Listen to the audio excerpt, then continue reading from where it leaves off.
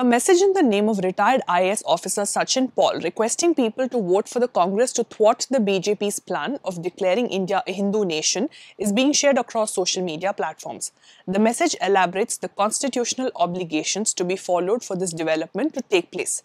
However, we could not find any IAS officer with the name Sachin Paul in the list of IAS officers who have served to date. Let us now look at the question of whether India can be declared a Hindu nation by amending the constitution. The Constitution of India asserts that India is a secular nation. The word was added to the preamble in 1976 through the 42nd Amendment.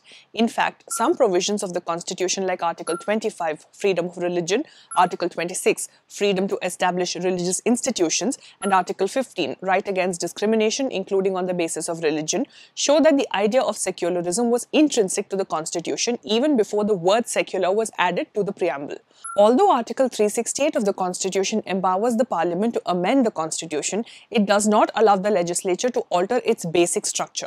In the Keshavananda Bharati case of 1973, the Supreme Court introduced the doctrine of basic structure and ruled that the constituent power of the Parliament under Article 368 does not empower it to alter the basic structure of the Constitution.